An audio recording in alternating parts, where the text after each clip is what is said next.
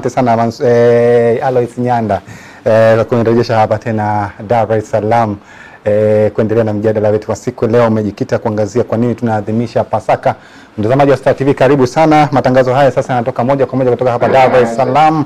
Mimi ni Athumani Mihula ndiye nitaendesha mjadala huu kutoka hapa Dar es Salaam, na mgeni wangu ambaye nitakuwa naye eh, hapa kuangaza hili ni mwinjilisti Samuel Nshatsi. Huyu anatokea kanisa la TAG inayopatikana Tegeta hapa Dar es Salaam. Tupo hapa kuangazia ama kujadili kwa nini tunaadhimisha Pasaka. Hiyo ndio mada yetu ya siku ya leo. Nikukaribishe mwinjilisi na nikusalimu habari za asubuhi. Karibu sana Asante. eh, katika studio za Star TV Dar es Salaam. Asante sana. mm. Kwanza najisikia baraka, mm. lakini pia ninasikia ni neema ya Mungu kuwapata watazamaji wetu asubuhi ya leo kuwa pamoja na sisi, lakini pia kama haitoshi, nashukuru sana ndugu mtangazaji, mm. pamoja na mazingira yote ya mapokezi ambayo mmefanya. mm. Hakika tumesikia upako toka Mwanza na sasa tunarudi Dar es Salaam. Asante ah, sana. Mimi nikupe sasa dakika moja ujitambulishe kwa upana wake. E, ni nani, unatokea wapi na nafasi yako ni nipi hapo kanisa la TAG Tegeta Dar es Salaam? Asante sana. Kwanza nashukuru kwa swali zuri, lakini pia namshukuru Mungu kwa sababu nimepata nafasi hii. Mimi majina kama ambavyo yametambulishwa, naitwa Samuel Nshasi. Mimi ni mwinjilisti wa kitaifa wa kanisa la Tanzania Sons of God, lakini pia mimi ninafanya kazi chini ya mchungaji anaitwa Ezekiel Mwakajwanga wa kanisa la TAG Lighthouse tuko Tegeta lakini pia Mungu amenipa neema pia ni miongoni mwa watendakazi na watumishi mm. wa kanisa hili ambao kwa sasa sasa tuko zaidi ya watumishi elfu kumi na mbili katika uh, Tanzania, lakini pia ni miongoni mwa watu ambao nimekuwa nikijikita zaidi katika kupeleka injili kwenye maeneo mengi ya taifa letu la Tanzania na maeneo ya jirani pia. Basi mimi nikushukuru sana kwa utambulisho huo mpana zaidi, maana mimi nilikutambulisha kiasi tu, kumbe kuna mengi unayafanya eh, TAG eh, kitaifa na Tegeta hapo Dar es Salaam. Eh, Tegeta sehemu gani? Tegeta sehemu gani? Uh, ukifika Tegeta alama kubwa thamani ni jengo la Kibo Complex. mm. Nyuma yake tu mm. hauwezi kutumia hata hatufiki hata mita hamsini. Hata bodaboda hizi Ah, bodaboda. ah, tena bodaboda tena tena hata usimuulize bodaboda Eh. muulize tu hata mlinzi Eh. atakwambia hilo kanisa liko nyuma tu hapo Ah. mtaa wa pili toka pale eh, Kibo Complex Asante. au kwa wengine pia mm, ni nyuma ya stendi ya Nyuki mm, ya Tegeta Nyuki unapita shule moja maarufu sana inaitwa Kanosa mm. sisi tuko nyuma yao Asante sana Asante eh, mwinjilisi. Tuanze na mada yetu kwa sasa. yeah. Uh, tunaangazia ama tunajadili kwa nini tunaadhimisha Pasaka. Hiyo ndio mada yetu ipo mezani kwa siku ya leo. Tuanze na hili kwanza Pasa, Pasaka. Pasaka hii ni nini hasa? Chimbuko lake Pasaka, hii siku ya Pasaka. kwanza kwanza Athumani, jambo mm. la kwanza ambalo lilikuwa jema mm. nilikuwa namsikiliza na kumfuatilia Nyanda. mm. Aa, sasa kwa sababu alikuwa ni mwenzetu mm. alitaka kusema tunajaribu. Eh. Ukweli ni kwamba hatujaribu. Aha. Unajua, kujaribu ni kitu ambacho unakifanya unashindwa, unarudia tena unafanya. mm. Pasaka imekuwepo kwa karne na karne na karne mm.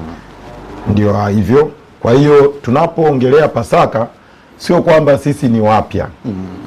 ni watu ambao tunaendeleza kile ambacho kilikuwepo na kile ambacho kipo. mm. Ni mfano rahisi ambao naweza nikatumia mm. mimi na wewe, na uhakika kabisa mm. hatujazaliwa wakati wa uhuru Ndiyo. lakini wapo babu zetu na baba zetu walipigania uhuru wakaupata uhuru, wakawa wanaadhimisha siku ya uhuru wao, wakaendelea na sisi tumeendelea, na sisi tutakapoondoka katika dunia hii mm. kutakuwa na nafasi ya watu wengine kuendelea. mm. Kwa hiyo Pasaka imekuwepo mm. kwa miaka mingi ya kutosha, mm. na nafikiri leo tutakuwa na nafasi kubwa zaidi mm. ya kusema na kurudi kwenye maandiko kuitazama. Na Athmani, leo nikutie moyo, mm. leo haupo hapa na kiongozi wa kidini. mm -hmm. Mimi ni kiongozi wa kiroho, mm. maana Tofauti yake ni ipi? tofauti yake ni, ni rahisi sana. mm. Kiongozi wa kidini, dini ni njia mm.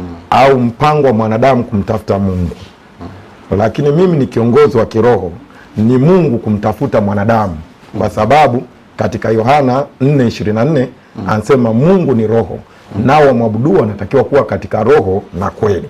Kwa hiyo mimi ni kiongozi wa kiroho, sio kiongozi wa kidini. Kwa hiyo nimesimama hapa leo kwa niaba ya viongozi wengi wa kiroho. Kwa hiyo nitachimbua zaidi kutokana na maandiko Yalivyoandika. yalivyoandika lakini pia nitatumia mazingira na mifano na ushahidi wa mambo ambayo yapo katika dunia hii. Kwa sababu haya tunayozungumza hayakutoka mbinguni mm. peke yake lakini yametendeka yameshushwa yako hapa duniani kwa hiyo mm. tunayo mifano ya kutoka Sawa, tuje sasa chimbuko hasa la hii Pasaka. Athmani, mm. swali lako ni nzuri mm. na mimi nataka watazamaji we, wetu wa mm. Star TV na mahali popote wanapotufuatilia wafahamu tunaposema chimbuko kwanza mm. tunaongea habari ya asili mm. na tunaposema asili tunaongea chanzo mm. na tunaposema chanzo tunazungumza nini kimesababisha nini kimefanya Nini kilitokea? nini kilitokea mm -hmm. hayo yote yanaweza yakawa katika hilo mm. kwanza neno pasaka mm. kama pasaka limetoholewa sasa watu wa kiswahili watanisaidia limetoholewa ina maana limetokana na maneno mengine ambayo yana asili mm -hmm. sasa asili ya neno pasaka ni kiebrania ambacho kiebrania kilikuwa kina neno linaitwa pacha pasa mm -hmm. sasa pasa ya kiebrania ni p a s a h mm -hmm. pasa mm -hmm. alafu neno hili la kiebrania likatoholewa kwa kiyunani sasa tulivyotoka kiebrania mm -hmm. ikaja kwa kiyunani kiyunani likaitwa pasacha kiyunani. Wale wanaojua kiunani au kigiriki pasacha.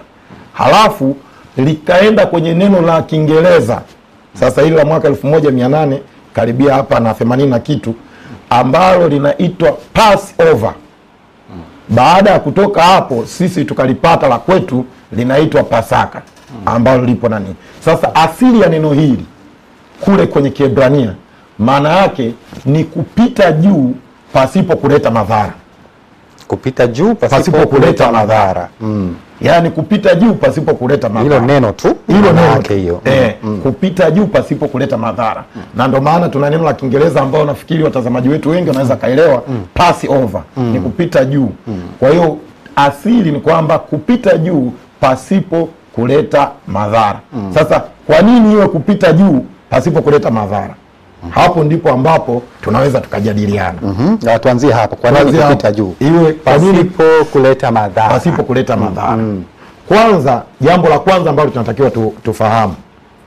Biblia ni neno la Mungu na kwa sababu Biblia ni neno la Mungu, neno hili la Mungu lina watu ambao Mungu alichagua. A, Athmani, Mungu ameumba watu wote kabisa, na tukubaliane Eh, hili halina ubishi. yaani hilo halina ubishi Mm. mungu ameum, ame, ame, ame, ame, ame, ameumba watu wote lakini mungu ni mungu wa mipango yani leo tunavyoongea sisi mipango Mm. asili ya mipango ni mungu Mm. kwa hiyo mpango wa mungu ulikuwa mwanadamu aishi duniani pawe ni sehemu ya milele na milele Mhm. Huo Ndio mpango wa Mungu. ndio ulikuwa mpango wa mungu mm -hmm. sio tu sehemu ya milele pani sehemu ya raha mstarehe athmani haya yote tunayoyaona vita magonjwa uh, shida Fujo mbalimbali zinazoendelea. fujo timbwili figisu kule mtaani kwetu haya yote ni matokeo ya dhambi haya sio mambo ambayo mungu aliyafanya Dhambi hizo alizitenda nani? ndio hapo sasa mm. mungu alipomweka mwanadamu kwenye bustani ya eden mwanadamu alikosea sasa alikosea tunaposema dhambi mm. watu wanatafakari sana neno dhambi wanaweza ku, ku, kulitafutia maana nyingi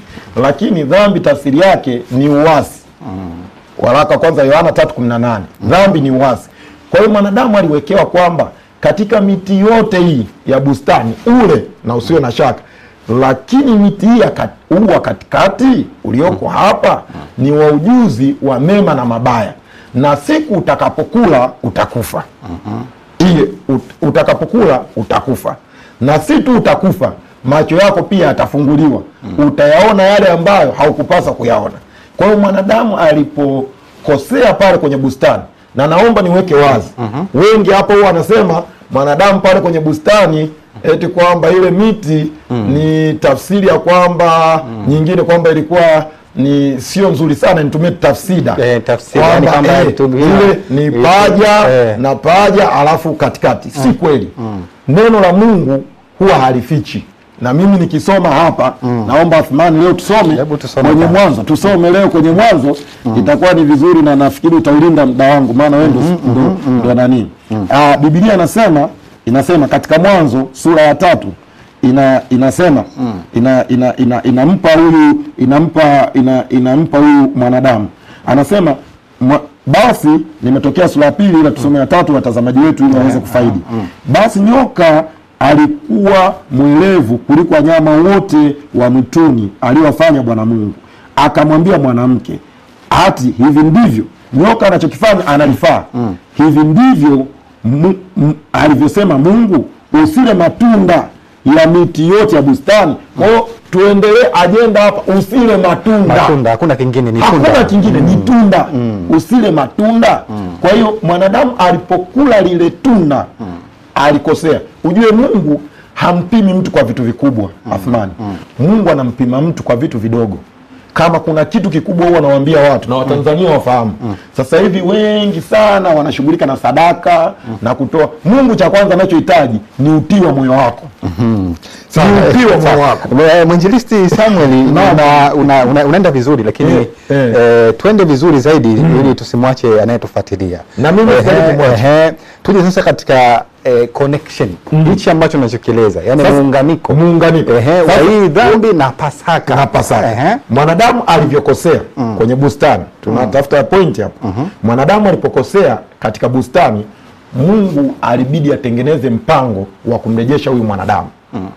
Na anamrejeshaje huyu mwanadamu?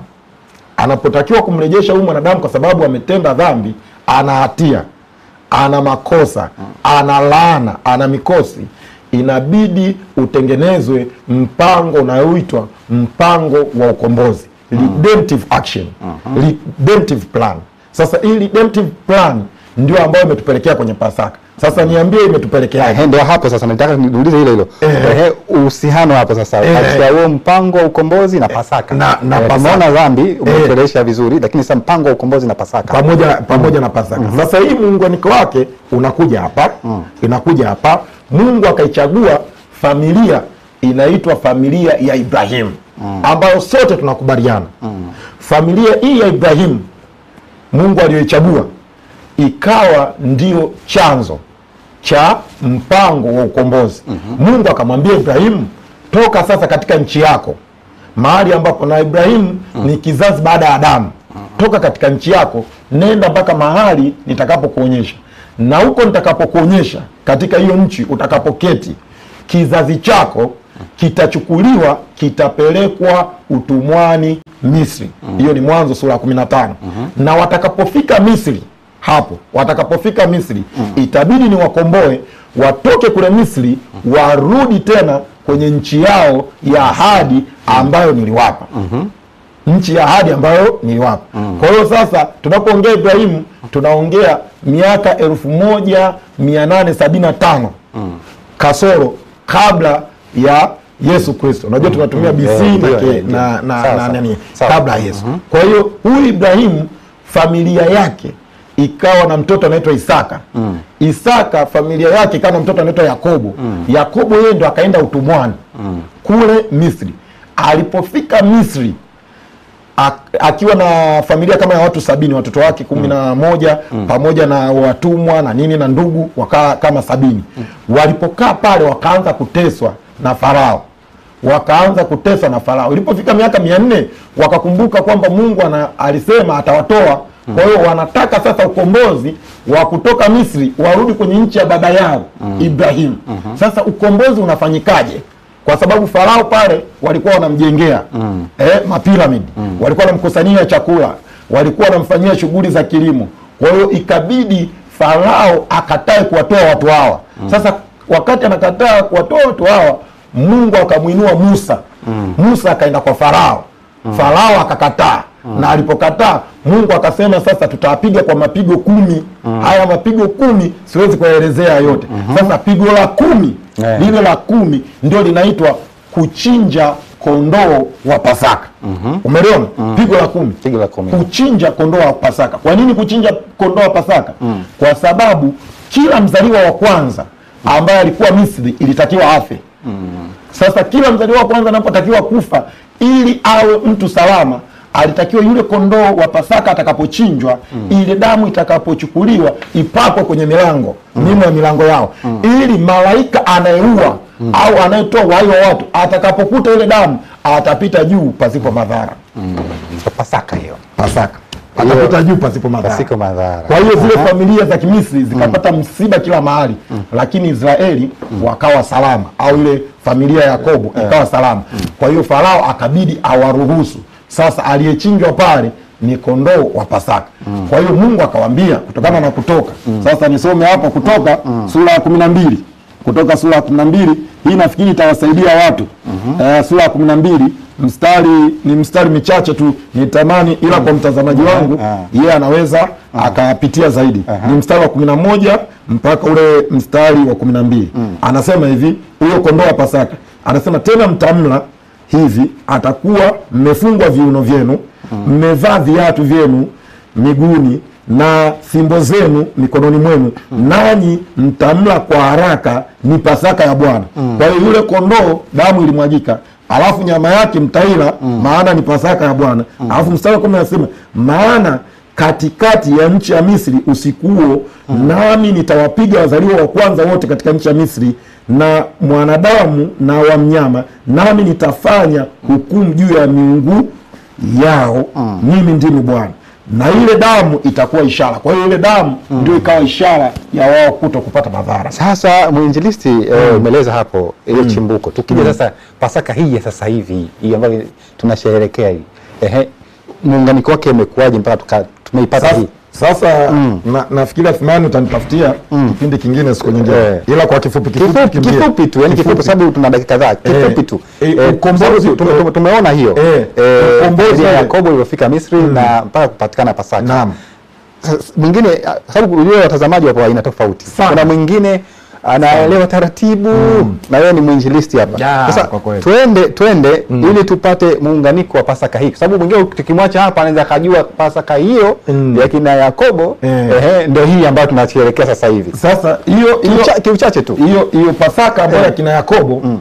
iliambiwa kwamba mta mtaisherekea milele na vizazi vyenu. mm. Sasa ile Pasaka ya kina Yakobo mm. in, ilikuwa ni kivuli, mm. inageuka Pasaka halisi mm. ambayo ni Pasaka ya Yesu Kristo, mm -hmm. kwa sababu Yesu naye ilibidi afanyike vile vile mm. yaliyofanyika kwa yule kondoo wa Pasaka mm -hmm. na ndio maana katika Yohana moja ishirini na sita inasema Yesu ni mwana kondoo achinjwae mm -hmm. kwa ajili ya dhambi za ulimwengu. mm -hmm. Kwa hiyo naye Yesu akafa katika kipindi hicho hicho mm. cha Pasaka, mm. sasa baada ya kina vizazi vya kina Yakobo. mm. Kwa hiyo tunaposherekea pale huwa tunasherekea Pasaka mm. iliyo halisi ambayo ni kufa kwa Kristo Yesu pale msalabani. Sasa eh, tu- tu- tuje umuhimu umuhimu wa hii Pasaka ni upi?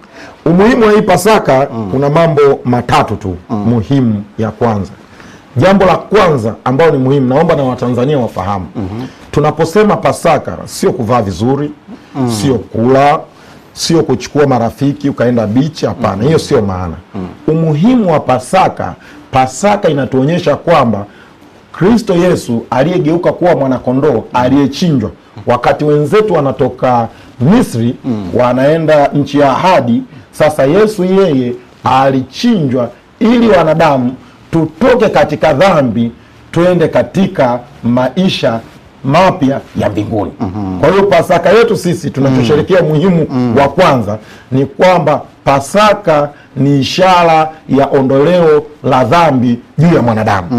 Hiyo mm. la kwanza. mm. Lakini jambo la pili ambalo ni muhimu sana ambalo anatakiwa mtazamaji afahamu, tunaposema Pasaka tunaadhimisha tunaadhimisha mm. maisha ya ushindi, maana kuna vitu vingi mwanadamu vilimshinda mm. lakini dhambi ilikuwa haina mbadala. mm -hmm. Dhambi ni lazima damu imwagike. mm -hmm. Kwa hiyo damu iliyomwagika ilikuwa damu ya Kristo Yesu. mm -hmm. Kwa hiyo Pasaka tunaadhimisha ushindi mm -hmm. wa kazi ya Yesu pale msalabani. mm -hmm. Kwa hiyo ni Pasaka. mm -hmm. Lakini tatu, Pasaka inatuonyesha na kutukumbusha, kwa sababu Yesu alisema mtaendelea kukumbuka mpaka atakaporudi tena mara ya pili. Mm. Kwa hiyo kwa imani kwamba tena atakaporudi mm. hii Pasaka inatuashiria kwamba atarudi, mm. kwa sababu kama alikufa msalabani kwa ajili ya dhambi na akaidi atarudi tena mm. kama lile lilitokea,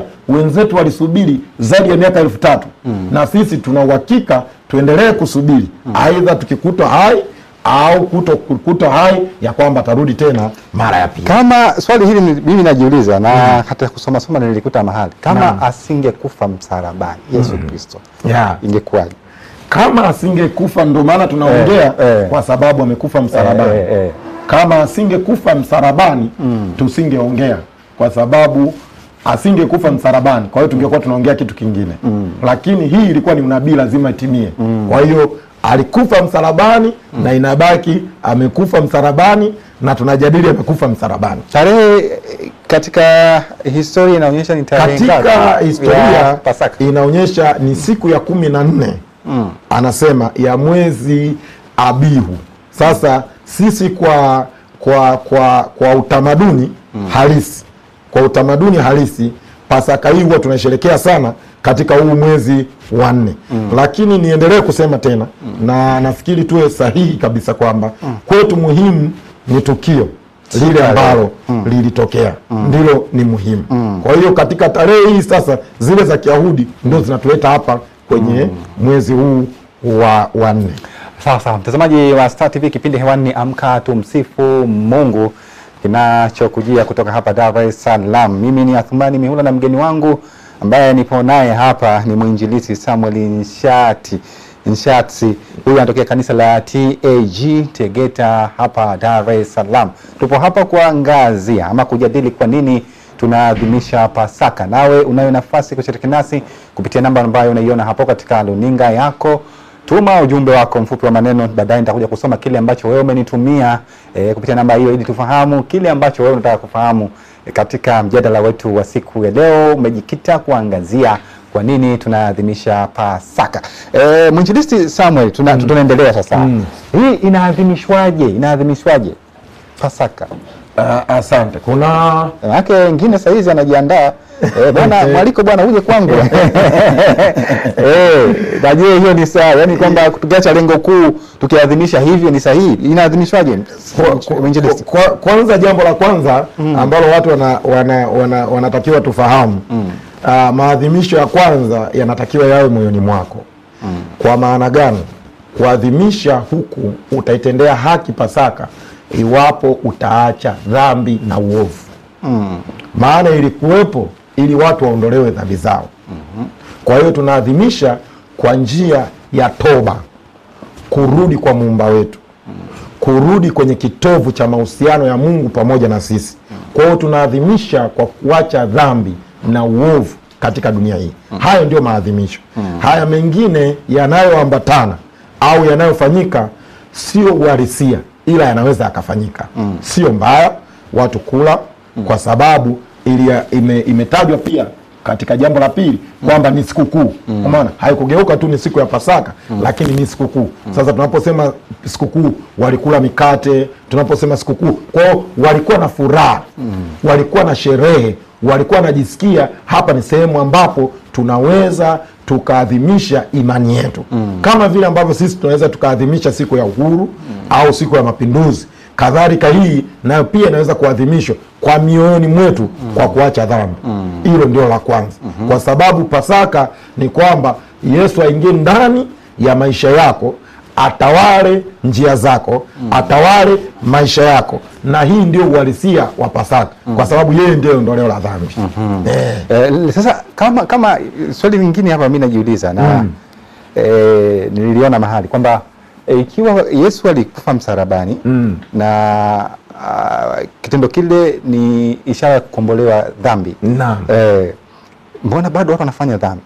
Ah, Eh. mimi mimi hilo ni swali zuri sana Eh. yaani kama Athmani nashukuru sana yaani mm. kama kuna swali ambalo kwa kweli umelitendea haki mm. katika hiki kipindi ni hilo mm.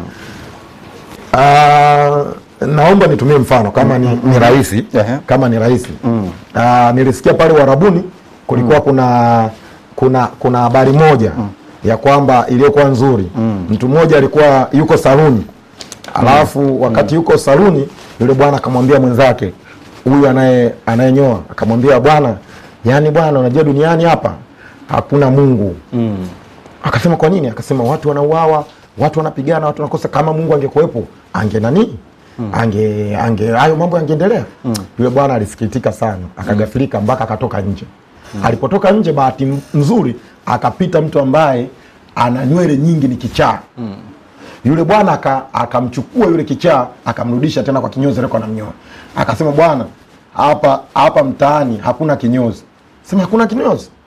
Mimi kinyozi hapa. Asema kama angekuwa kinyozi wapo mbona huyu ana nywele ndefu hivi ziko nani akasema ah huyu mwenyewe hajawahi kuja kunyoa unajua mm. tafsiri yake ni nini mm. ondoleo la dhambi limekwisha kumwagika mm. lipo tayari mm. ila ni wewe kuchukua uamuzi wa kuingia katika ile ondoleo la dhambi mm. kwa hiyo watu wanaendelea kutenda kwa sababu hawajaamua kuingia mm. hata mimi mwenyewe ningelifika hapa nisingeingia humu ndani usingeniona kwenye kipindi mm. ila haimaanishi kwamba studio haipo mm-hmm. ipo na kipindi kipo mm. lakini ni uamuzi wa kuingia mm. kwa hiyo watu wanafanya dhambi kwa sababu wenyewe tu wameendelea kufanya dhambi. Ila swala la kusamehewa dhambi lipo. Unaweza ukaingia. Na hata huyu anayenitazama pia anaweza akaingia na leo akapata pasaka kwa kumwombea na akapata pasaka ile iliyo iliyo halisi. Kwa hiyo ni kuingia. Kwa hiyo ni kila mtu aingie. Sasa e, Sasa kuna mahusiano gani ya Pasaka na kufunga? Ah, mahusiano ya Pasaka pamoja na na kufunga Eh, Eh, pa, eh, mm. Asante, umeniuliza swali zuri mm -hmm. sana.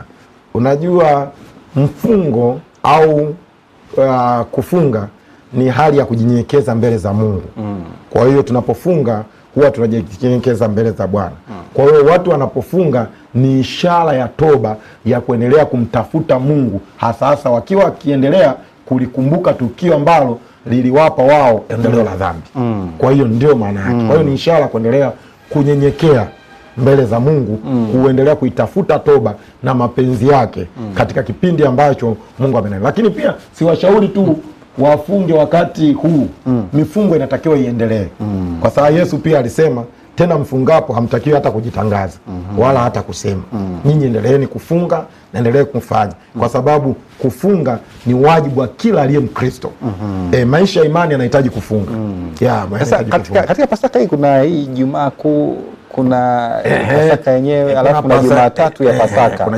Hivi vina tofauti gani? na kuna mahusiano gani? Asante sana. Eh. Kuna kwanza, sio tu Jumatatu ya Pasaka na nani, tuna kitu kinaitwa wiki ya Pasaka mm. kwa sababu hili Pasaka ni tukio ambalo lilitokea kabisa. mm. Kwa Kiingereza tunasema ni actual event, mm. kwa hiyo liliwahi kutokea. Kwa hiyo kwa sababu Yesu alikuwa yeye alikuwa makazi yake yalikuwa Galilaya mm. lakini sehemu aliyoenda kusulubiwa palikuwa panaitwa Yerusalemu. mm. Kwa hiyo Jumatatu ya kwanza kabla ya Jumatatu ya Pasaka mm. Yesu aliingia Yerusalemu akitokea kamji kadogo kanaitwa Bethania. mm. Hapa alikuwa anaingia kwenye wiki ya Pasaka. mm -hmm. Ina maana kwa sababu ni kukamilisha kile ambacho kitakwenda kutokea siku ya kwanza mm. ya juma ya ufufuo. Kwa hiyo akaingia na alipofika Ijumaa mm. ndiye alienda msalabani. Kwa hiyo inaitwa Ijumaa Kuu kwa sababu alienda msalabani. mm. Na kwa kanuni na desturi za Wayahudi ilikuwa inabidi mtu asibaki msalabani mpaka siku inapoangukia kesho ambayo ilikuwa ni Sabato. mm. Kwa hiyo baada ya pale ilibidi wautoe mwili wake waupeleke kaburini. mm. Sasa wanapoupeleka kaburini ndio tunakuwa sasa na kesho ya, kesho kutwa yake mm. ambayo inakuwa ndio ju, nani Jumapili au siku ya kwanza mm. ya juma anaweza kufufuka kutoka kaburini. mm. Na alipofufuka kutoka kaburini mm. hakuishia tu kufufuka. mm. Aliwaambia kwamba nimewatangulia Galilaya na akaendelea kuonekana kwa siku arobaini kisha akapaa. Kwa hiyo sio tu nafikiri huwa ni kwa sababu mm. uh, watu sio wafuatiliaji. Kwa hiyo hatutakiwi tu ku, kuwepo pale. Tunatakiwa tuwe na nani ndefu ya wiki nzima mm. ya pasaka. Mm. lakini hizi siku mbili zina nguvu zaidi kwa sababu zinabeba matukio yenye maana na na kuna ile Ijumaa utaniweka sawa kama nitakuwa ni sija sija sija enda sahihi mm. E, kuna tukio la kutokula nyama. Mwingine anaweza kajiuliza eh, kutokula nyama kuna uhusiano gani hapa ama e, kuna fundisho gani katika tukio lile? kwanza e, niwe mwazi e. Ya, kutokana na imani yangu ya Biblia Mm. na iliyo sahihi kabisa Mm. hakuna mahali ambapo tumekatazwa kula nyama Juma. mm, Mimi niko tayari, labda awepo kiongozi wa kidini ila kwa kiongozi wa kiroho aje hapa aonyeshe andiko ni sehemu gani tumekatazwa kula nyama. Hayo ni mapokeo, mm, kwa sababu hata ukila nyama, kwani ndio namla Yesu? Si kweli, ila watu wameleta vitu vinaitwa mapokeo na Athmani. Mapokeo haya ni kuna kitu kinaitwa historia ya kanisa. mm, Katika historia ya kanisa kuna kitu kinaitwa kanisa kupoa.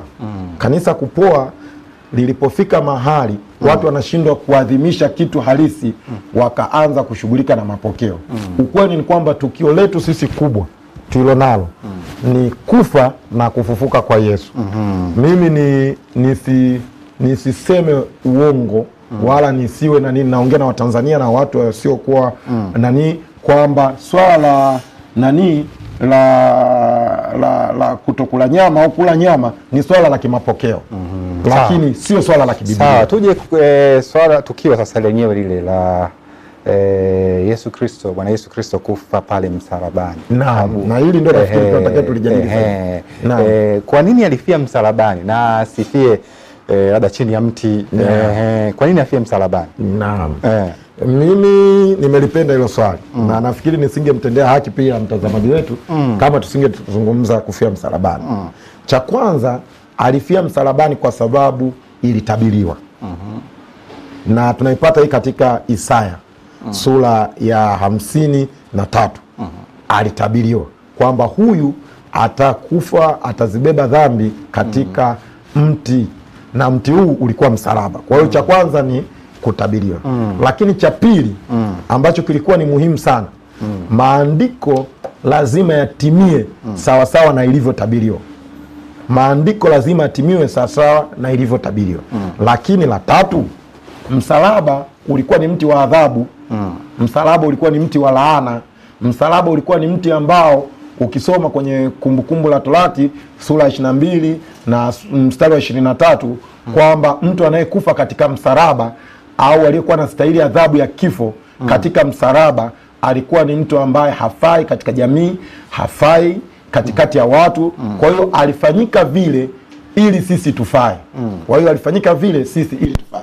Kwa hiyo zile zilikuwa ni sababu za kina, za kiunabii na sababu za kibibilia.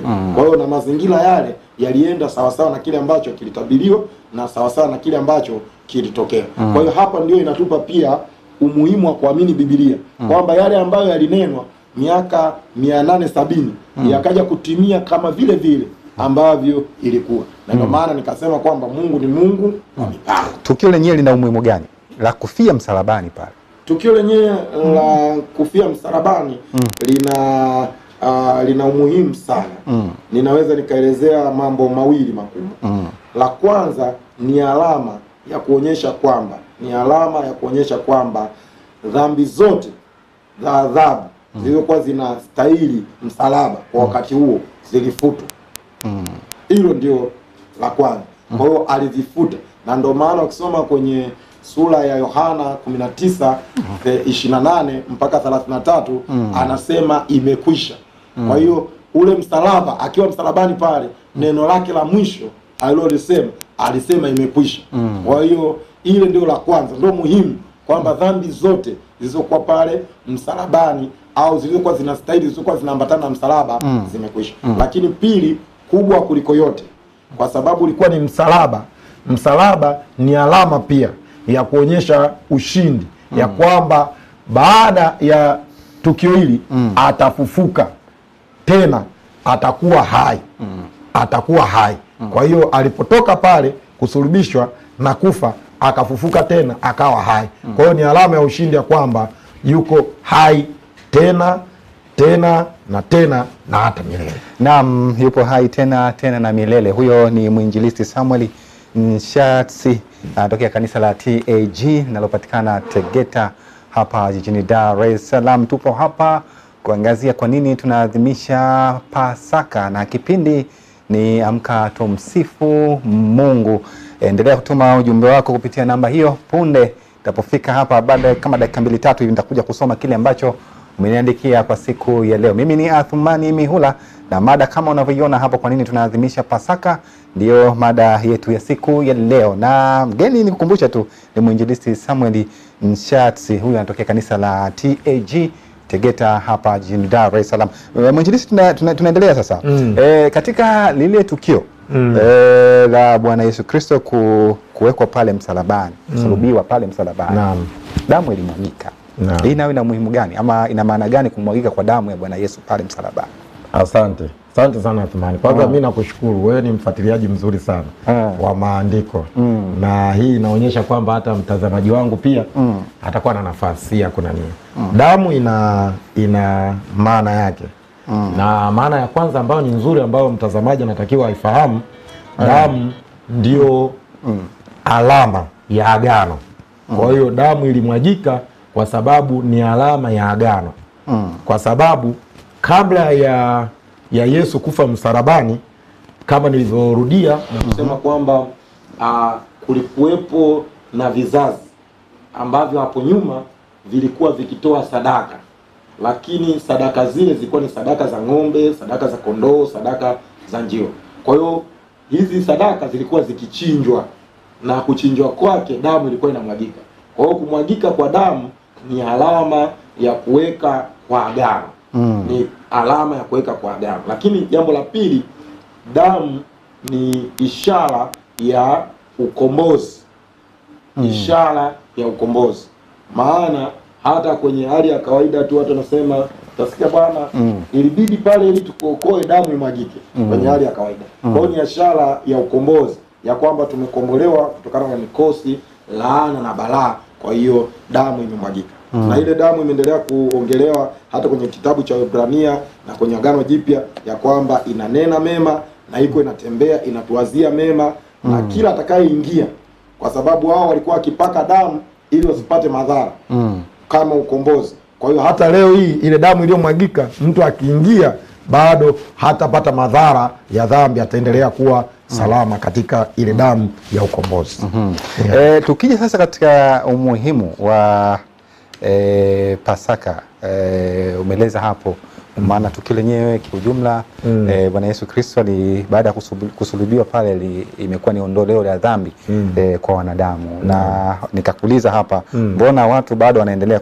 kutenda dhambi ukasema ni uchaguzi wengine hawajachagua lakini bado ambao wengine wamechagua ana kweli labda muda fulani hafanyi lakini muda fulani anafanya hayo huyu naye tuna, tuna, tuna, unaweza Tunamweka. wapi huyu Huyu, eh, eh, eh. ame- kweli amechagua ameamua kukabidhi maisha yake kwa Bwana Yesu Kristo mm. ameokoka unaona lakini baadaye huyu tunamwona eh, anarudi kule labda labda hata kama kwa kuteleza kidogo lakini mm. baadaye anarudi "Ah, niteleza hapa anafanya hayo au eh, mwingine akikaa mm. labda na vijana hivi kama mtu mzima ah, mimi enzi zangu mimi mimi bwana nilikuwa hatari mimi mm. enzi zangu mimi mm. ah, nyinyi vipi nyinyi vijana mbona mmepoa yani hivyo lakini ameokoka na amekabidhi maisha yake Mm. eh, kwa Bwana Yesu Kristo huyu mm. naye tunamwekaje tunamwekaje? Mm. Asante sana. Kwanza asante kwa maswali. mm. Mimi nashukuru unaniuliza maswali mazuri ambayo kwanza hapo katika jamii yetu. mm. Kwanza na nataka ni, niweke sawa hili Mm.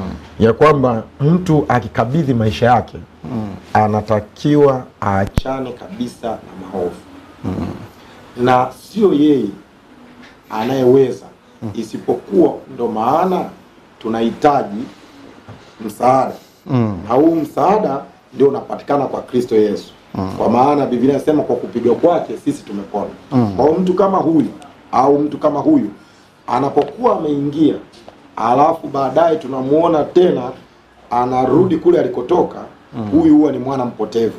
mm. Anatakiwa tena afikiri, awaze, arudi tena kule alipokuwa Mm. lakini pia haitoshelezi mtu anaposema kwamba kipindi kile au enzi zile nilikuwa hivi nilikuwa hata lenye vijana hiyo mimi kwanza naweza nikasema kwamba la kwanza inaonyesha kwamba amebadilika mm. lakini sasa kama amebadilika asihamasishe wengine warudi kule ambako yeye alikuwepo isipokuwa mm. sasa atumie nafasi hiyo pia kuendelea kufanya ibada mm. unajua kinachomweka mtu karibu na mungu ni ibada mm -hmm. kwa hiyo unapokabidhi maisha unaendelea na ibada mm. unaendelea na mahusiano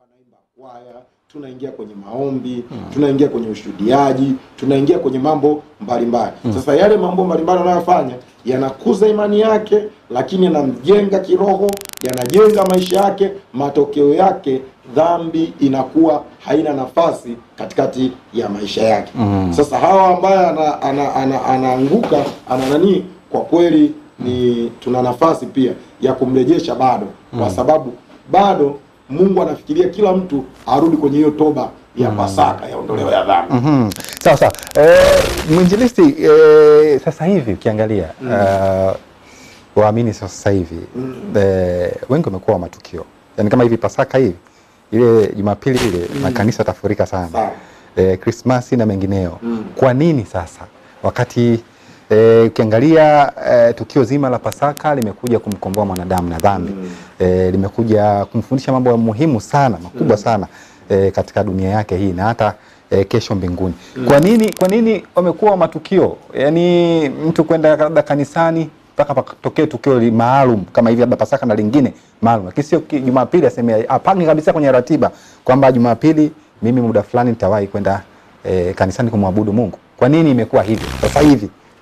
Ah, Na tupo kwenye Pasaka hapa. na tupo Eh, kwenye pasaka mm, ni muhimu sana mm, E, la kwanza mimi nina ninashukuru kwa hili swali. Nina ninapenda kwanza niseme kwamba uh, limekuwa hivi kwa sababu mm, ah, ah, watu wengi sasa wamekuwa na imani pasipokuwa na matendo. mm, Biblia inasema katika Yakobo moja ishirini na mbili imani bila matendo imekufa. mm. Matendo ndio ibada, matendo ndio kukusanyika, matendo ndio mambo ambayo tunayazungumza. Sasa kwa nini imekuwa sasa hivi? Ni kwa sababu katika kipindi hiki watu wengi sana wameondoka katika imani, mm. wamebaki katika matukio, Mm. Na ndo maana hata ukiangalia leo, siwezi kuzungumzia mm. kwa hali ya, ya nani ya, ya, ya, ya, ya, ya, nani ya kijumla mm. lakini watu wanakimbilia kwenye vitu, kwa mfano likitangazwa sijui ku- kuna hiki kitukio hiki na kitukio kile ndio wanakwenda. mm. Kwa hiyo hilo ndilo linalowafanya. Kwa hiyo ni hali ya watu kuondoka katika imani Mm. ndio inayo- inayowapelekea hivi.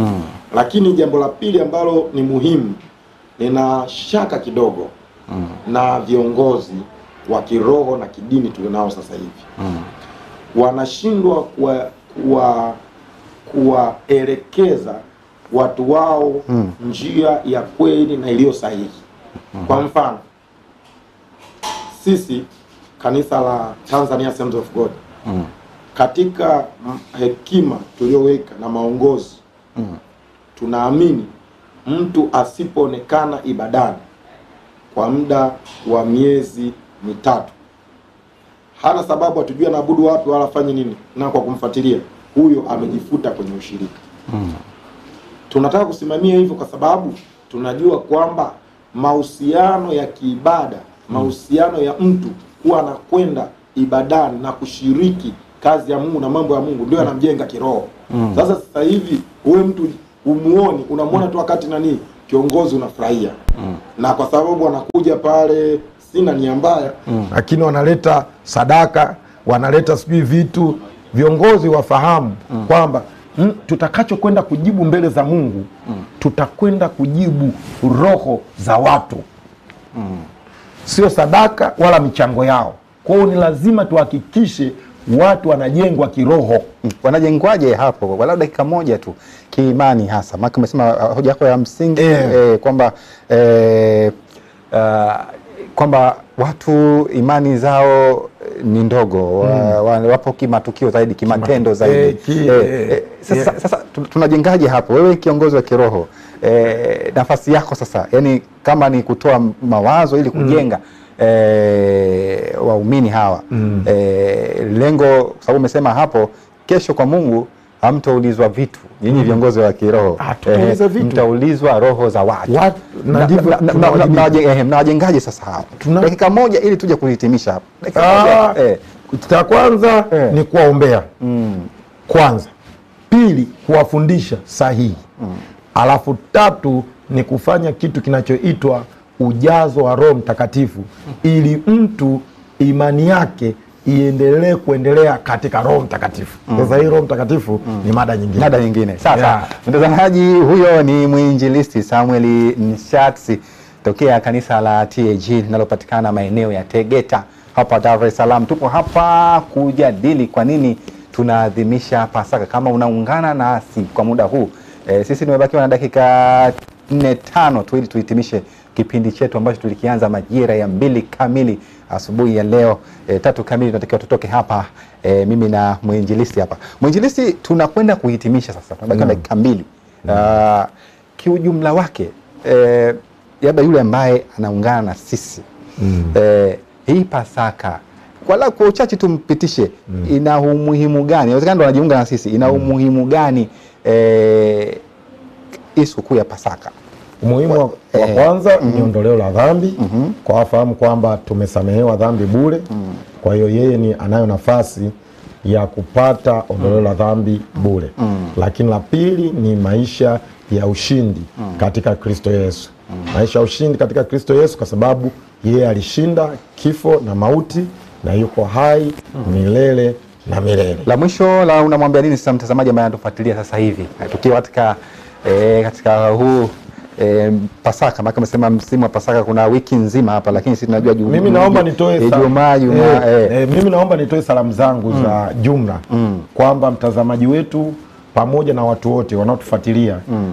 watumie kipindi hiki kutubu dhambi zao mm. na kurudi kwa muumba wao mm. kuyafanya yale ambayo ni mapenzi ya Mungu. mm. Hiyo ndio ujumbe na hiyo ndio itakuwa maana ya Pasaka kwenye maisha yao. sio kujiandaa e, kula na kunywa e, kula na kunywa e. na hiyo halafu Biblia iagizi kwamba ianzie kule nje, inaanzia hapa. mm. Kwa hiyo inaanza mimi na wewe, mm. yaani wewe hapo pamoja na mimi na walioko huku, mm. halafu na kuendelea na kuwakumbuka wasio nacho na kuwakumbuka. Ukishakuwa kwenye imani mm. ni muhimu sana, mm. yaani kuna mambo huwa ni automatically mm. yanakuja moja kwa moja.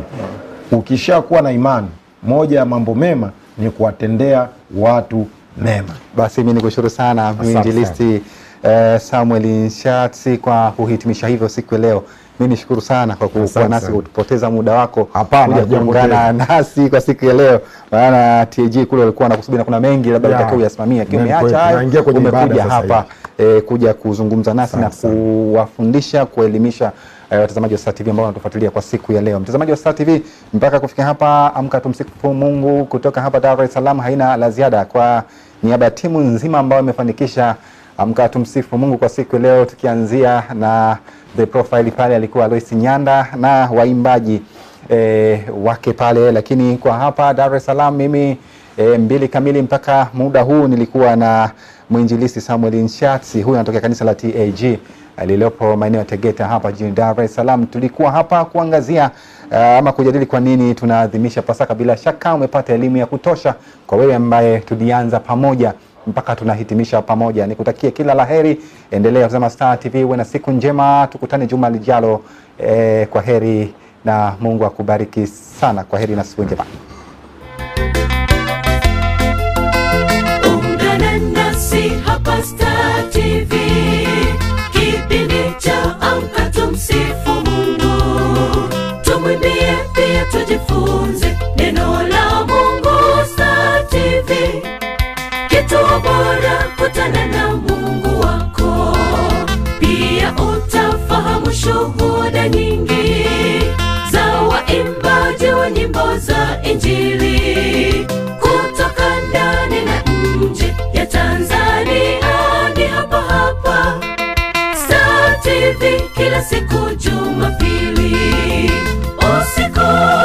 Siku tazama, kila siku ya Jumapili asubuhi